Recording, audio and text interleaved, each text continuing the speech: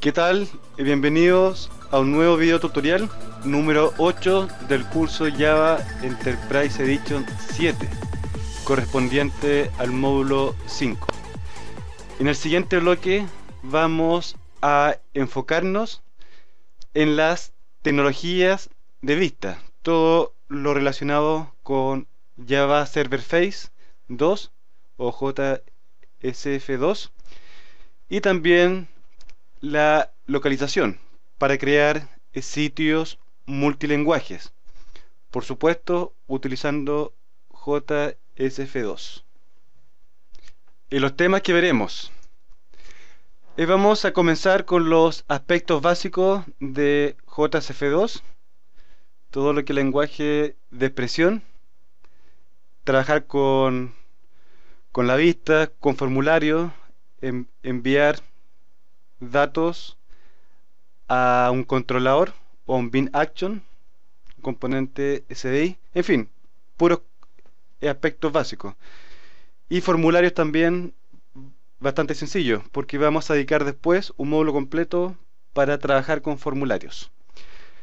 Eh, también eh, vamos a ver el Composite Component, Composite Component, que son los componentes por composición o formados por composición.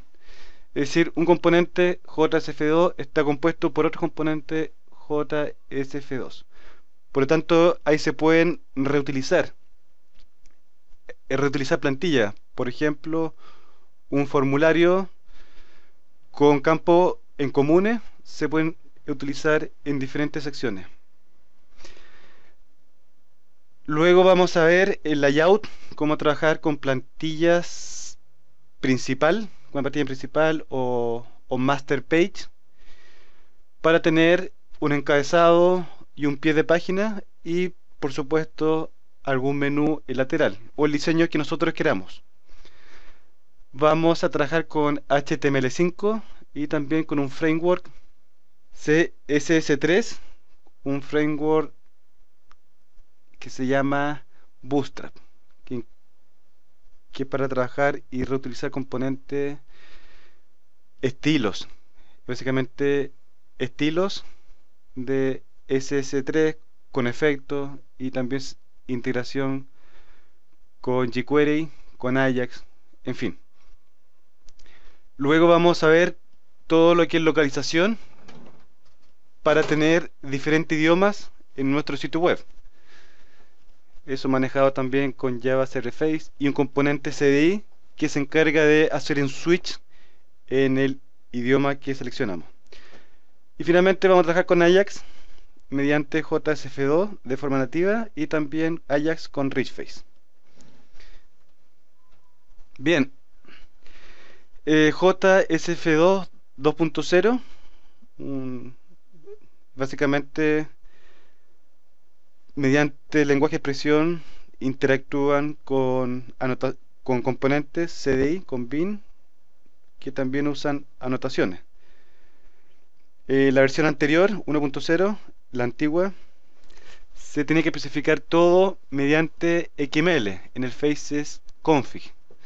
Se tenía que definir el bins, el bins manager, este es un bin que es manejado, entonces asignaba un nombre, la clase y el contexto o el alcance o scope. Pero ahora con JSF2 eso ya no ya no va. La forma correcta es usar el componente CDI con anotaciones.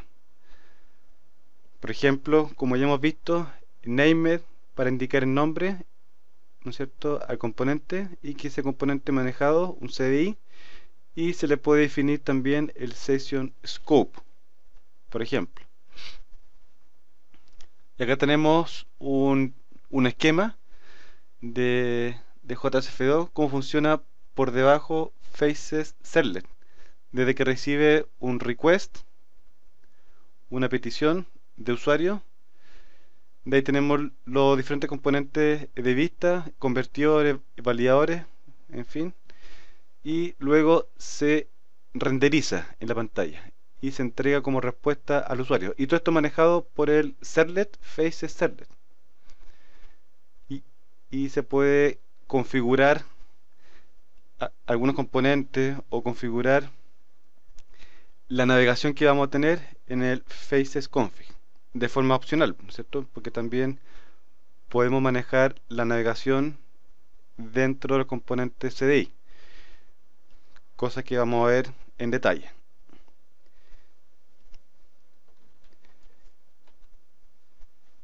Bien, acá tenemos otro, otro esquema de cómo sucede una petición, ¿no es cierto? Entonces acá eh, la petición es recibida por una vista, una vista JSF2 que interactúa, ¿no es cierto?, mediante el lenguaje de expresión con un pin action que sería un controlador y a su vez el controlador interactúa con componentes de la lógica de negocio que sería la capa del modelo básicamente son objetos de negocio objetos también que acceden a los datos como los DAOs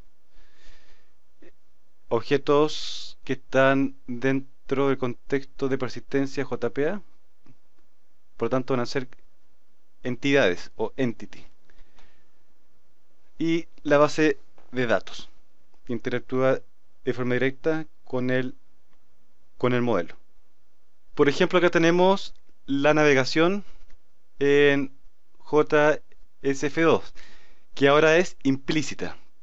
Por lo tanto basta con colocar el nombre de de una acción un action puede ser el nombre de una vista, JCF2, o bien puede ser la llamada de un método de un componente CDI.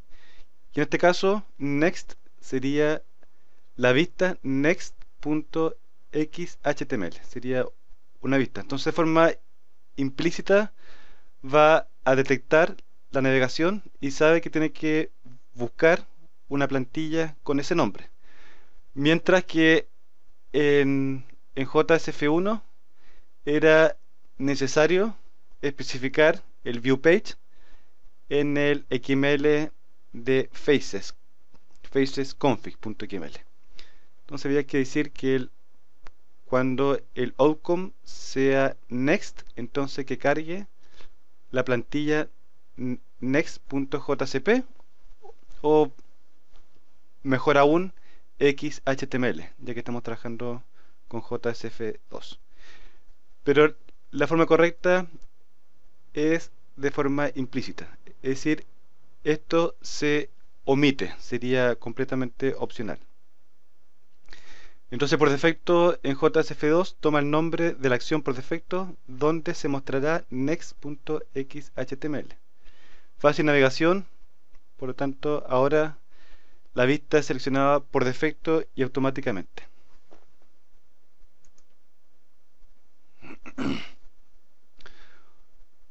También permite navegación condicional dentro de JSF2. Por ejemplo, acá cuando venga de un outcome, es decir, de algún tipo eh, de acción, ya sea clic para cargar una vista, o también puede ser ¿no es cierto? en este caso va a validar va a validar antes de cargar la vista que cumpla cierta condición. Por ejemplo acá que el pago es decir que la orden del pago sea mayor a 100 entonces en ese caso va a cargar la vista order more.xhtml. Y acá tenemos otro ejemplo, ¿no cierto? Si el pago se ha registrado de forma completa, entonces se muestra la vista payment. Y acá se utiliza, ¿no cierto?, lenguaje de expresión también, en las condicionales. Entonces los faceless es una tecnología por defecto y es preferida en JSF2. Todas las nuevas eh, características futuras van a estar disponibles para facelets basado en XHTML y no tanto en JSP.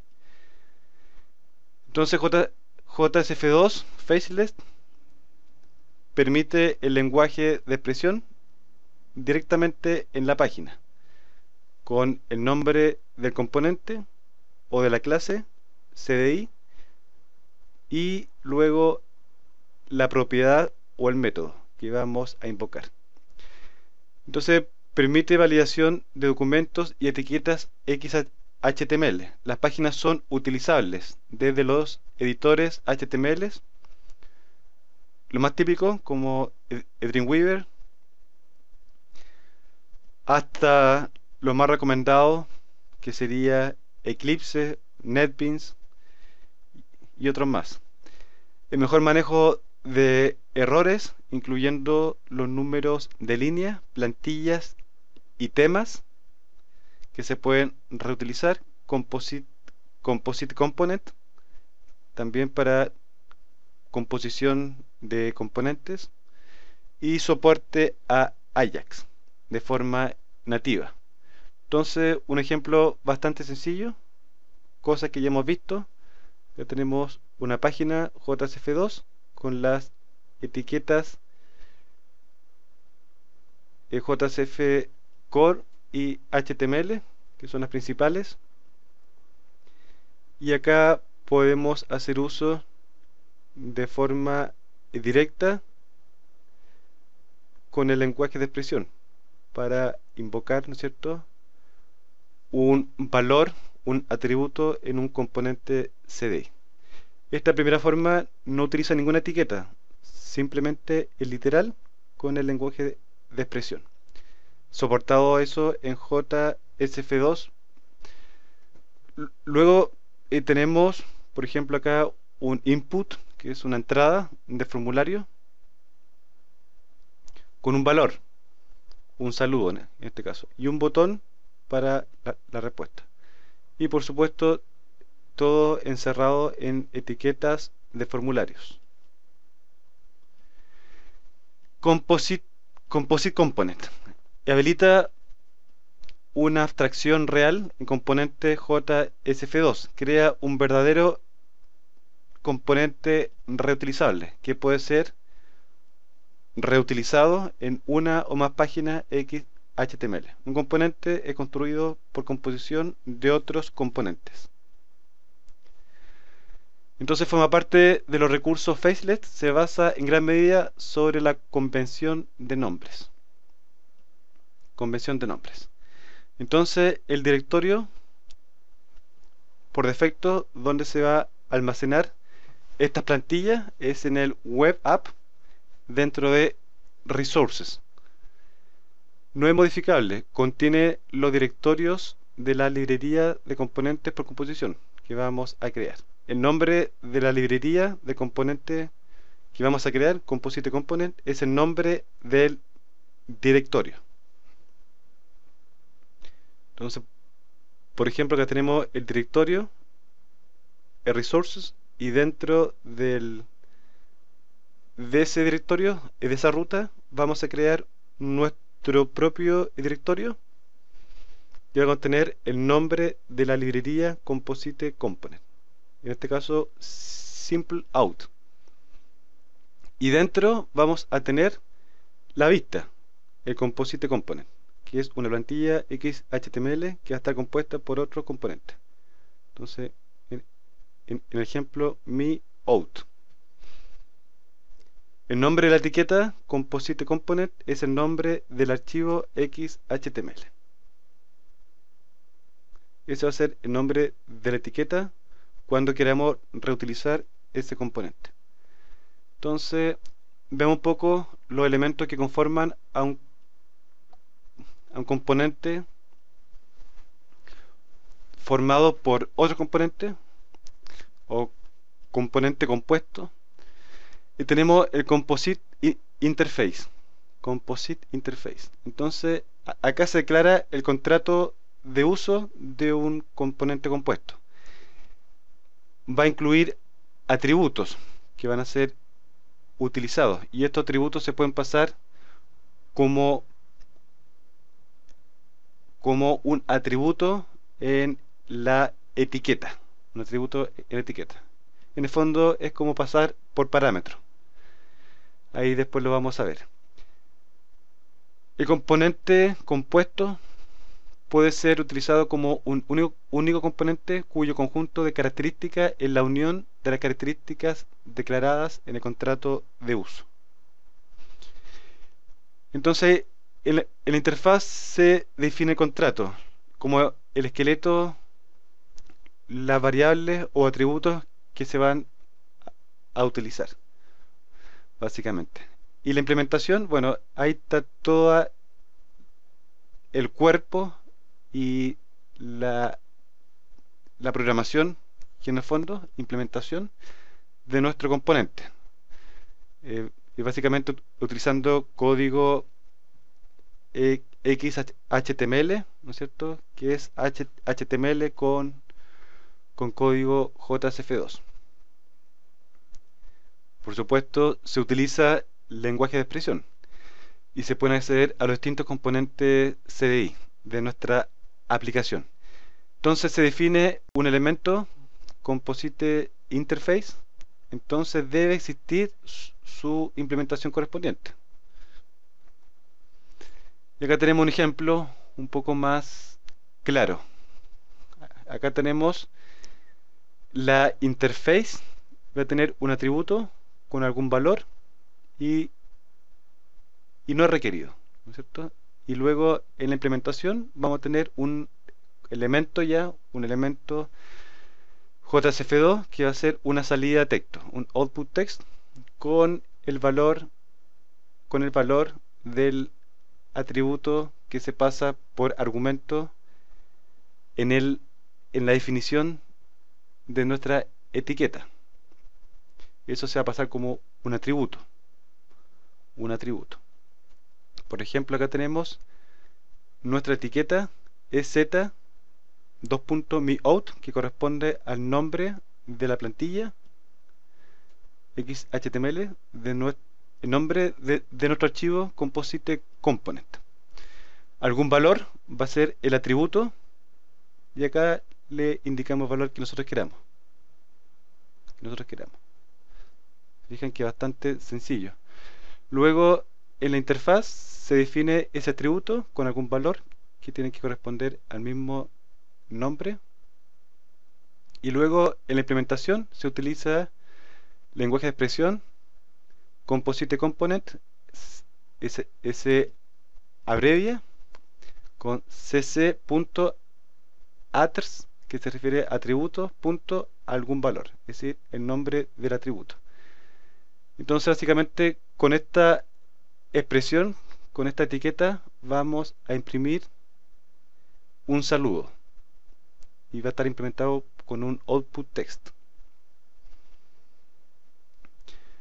Luego, en la, cuando se utiliza la forma de uso en la página Faceless, para poder implementar esta etiqueta, es z con el nombre de nuestro componente, con el atributo, se tiene que incluir el z component en el namespace, en la definición namespace de nuestra página JSF2. Entonces acá se hace referencia al composite simple out por defecto que hacer nuestra librería o el nombre de la librería propia que puede tener más de un componente por composición.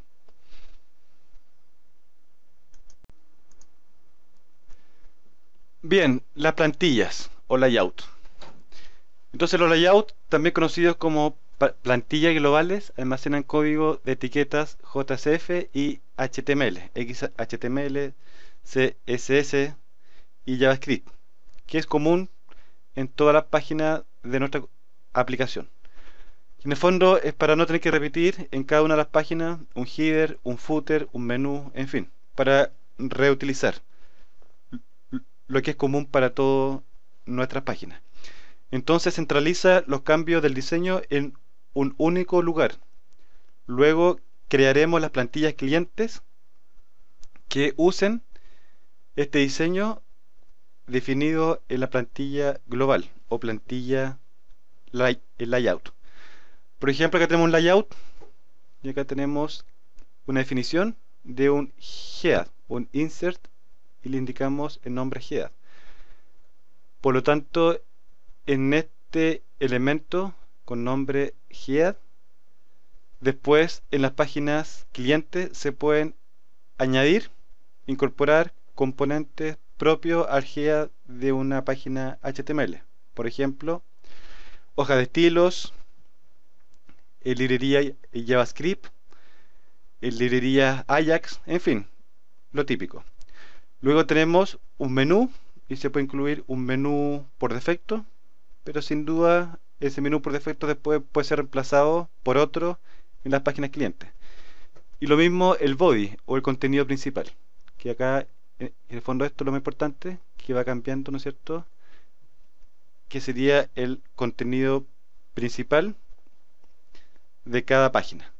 Luego también podemos tener una página footer.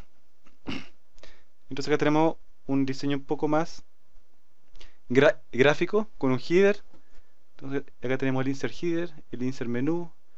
Acá tenemos el contenido principal, un insert body o content y el footer. Y también podemos tener un sidebar o una barra lateral con algún contenido o menú o incluso el logo o contenido transversal a nuestro sitio web. Y la plantilla hija, ¿no es cierto?, que utiliza estos componentes y hace referencia mediante el elemento define. Entonces, UI, dos puntos define, hacemos referencia al nombre del componente que se define con insert en el layout. Y acá tenemos el body, el contenido principal. Y siempre hay que hacer referencia que vamos a para indicar que vamos a utilizar el template o layout y su ruta. Entonces acá se especifica la ruta, ¿no es cierto? Y, típicamente se guarda dentro de webinf nuestro template o layout principal. Y podríamos tener incluso más de uno. Entonces acá con, con la etiqueta UI define podemos cambiar el nombre del contenido. Le ponemos name body. Y dentro de esta etiqueta vamos a tener todo nuestro contenido de nuestra plantilla o página XHTML cliente, haciendo referencia a nuestro layout.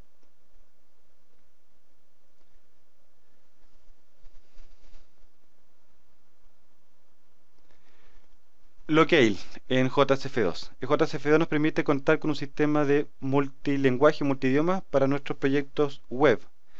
Si queremos implementar un proyecto web que apunte hacia un mercado globalizado, es necesario contar con una herramienta que nos resuelva el problema. Es decir, que nuestra página o nuestro proyecto esté en varios idiomas. Cada sesión de usuario tiene asociado una instancia de un Java útil locale disponible en toda la aplicación como componente llamado el locale, un componente singleton, es decir, es único dentro de nuestra aplicación. Hay que implementar una clase componente CDI, que después la vamos a ver locale selector, que en el fondo, bueno, con contexto de sesión, para que almacene siempre el nombre de nuestro locale. Y se encarga de manejar y, y de modificar nuestra configuración del idioma. Luego hay que implementar un sencillo formulario JSF2 que permita al usuario cambiar el lenguaje mediante un desplegable. Para lo demás, Weld delega a JCF2 la tarea de determinar nuestra configuración de locale de forma automática. Entonces, ¿cómo se determina la localización? Si hay un locale asociado con la petición HTTP, configuración regional del navegador, es decir, un locale que está configurado en nuestro navegador, en, en la configuración del browser, de Firefox, por ejemplo, y este se encuentra en la lista de locales soportados en nuestra aplicación, entonces lo usará para el resto de la sesión.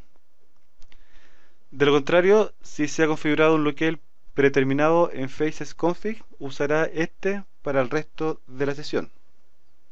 Si no, utilizará la configuración regional predeterminada y configurada en el servidor. Entonces acá JCF2 proporciona un mecanismo integrado vía interfaz de usuario mediante un formulario que nos permite cambiar esta configuración. Entonces el usuario ajusta el locale a través de un formulario en nuestra aplicación web. Acá tenemos el ejemplo del formulario que nos permite cambiar y hacer switch. Entonces cuando el usuario selecciona un elemento de la lista desplegable, se modificará el locale por el seleccionado. Entonces acá hace referencia al, lenguaje, que está seleccionado por defecto y mediante mediante nuestro componente lo que es el selector invocamos ¿no los otros lenguajes soportados o países soportados. Y más bien lenguajes soportados y acá tiene un evento, ¿no es cierto?, que cuando se selecciona automáticamente va a ir al, al locale selector punto seleccionar y va a cambiar el valor que tenía por defecto del lenguaje por el, el lenguaje que se seleccionó y ese lenguaje se almacena y queda asignado en el atributo language dentro de nuestro componente. Acá tenemos nuestro componente lo selector, justamente el componente que estábamos hablando. Es un componente CDI de contexto de sesión y vamos, y vamos a tener el locale. El locale se obtiene a través del contexto faces, es decir, de JSF2 y se asigna al atributo locale. Luego tenemos lenguaje, que es nuestro es cuando seleccionamos el lenguaje, ese valor va a quedar asignado en este atributo. Y luego tenemos los lenguajes o países soportados, por ejemplo, inglés, español, francés. Y luego vamos a tener un método que se encarga de modificar el locale por el seleccionado. Pero eso lo vamos a ver después en los ejemplos. ¿Qué más? La clase eh, produce resource que luego necesitamos definir en nuestra clase producer un método anotado con, con producer para crear el componente con los mensajes de idioma acá tenemos la implementación. Entonces nuevamente obtenemos el locale mediante el contexto faceless de JCF2 y obtenemos los mensajes que están guardados en un archivo property en los archivos en archivo property. Entonces esta clase contiene el método producer que se encarga de crear el componente con los mensajes y textos contenidos en los archivos de idioma properties. Se les asigna el locale acá como argumento para determinar qué tipo o qué archivo property va a obtener y va a retornar. Si es español, si es inglés, alemán u otro lenguaje. Y luego con esto ya podemos acceder y obtener los textos según el idioma seleccionado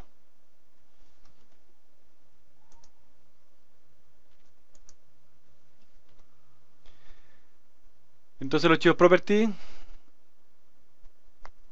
que definen y es donde se guardan los textos para los, diferentes idiomas. Estos están dentro del, del directorio src main resources. Entonces, en esa ruta de nuestro proyecto están guardados los archivos. Vamos a tener un archivo por cada idioma que necesitemos y se nombrará con messages guion bajo como el prefijo y como sufijo sería el idioma. Por ejemplo, acá tenemos ES, EN para inglés, FR para francés. Y la extensión sería punto .properties. Son archivos properties de Java. Luego, en la vista, simplemente se utiliza el componente messages con el nombre del, del, texto que está en el archivo property. O bien, también se puede hacer referencia como atributo. Acá tenemos como referencia como si fuese un, una matriz o un arreglo y acá como un, un campo o un atributo. Entonces, el messages sería componente que se crea a partir del, del producer, el resource. Ahí está el nombre, el messages.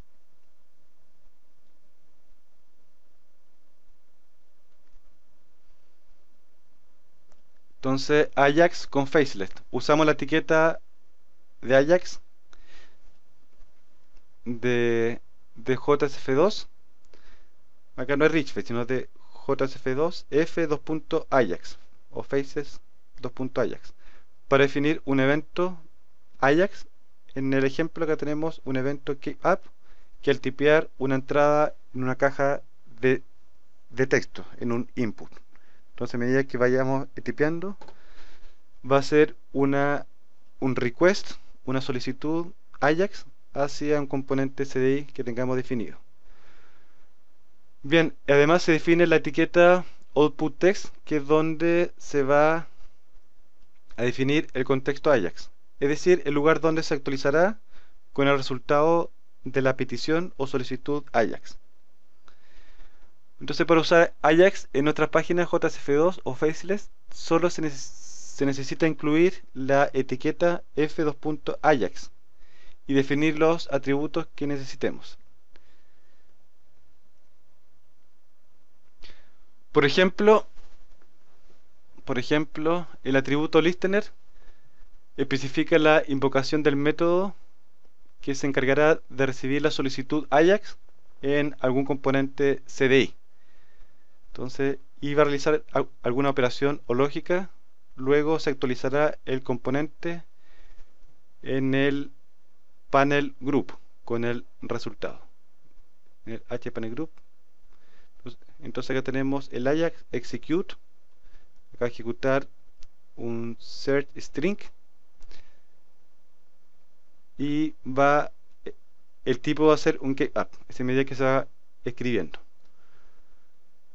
este execute va a mandar un atributo del tipo con nombre search string search string con el valor del campo de texto.